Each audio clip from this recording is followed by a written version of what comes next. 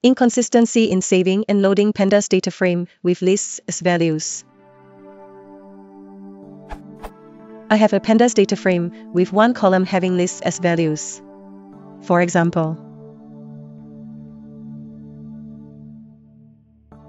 As you can see, column C actually contains a list. This is verified by.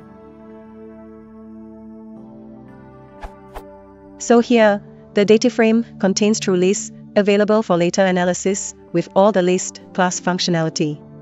But when I'm saving the data frame and then loading it again, the list becomes string.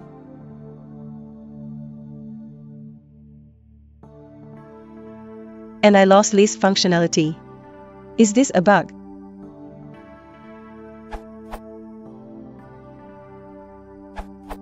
No, it is not a bug. CSV files do not have data type information. When you load the file, all read underscore CSV has to go on is the text. When it sees E1, 2, I in the file, it does not assume that it should process the contents as a list. This is proper. A CSV file might contain text in that format that should not be a list.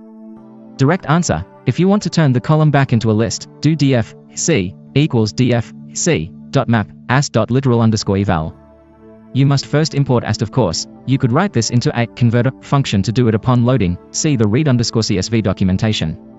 Better approach, save your data as something other than a CSV so that the data types can be saved and recovered on loading.